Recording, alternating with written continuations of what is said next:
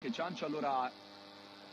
una lunghe cavalcate, Fusi serve sulla sinistra, Floriano che entra dentro l'area di rigore, la palla rimane per Miracoli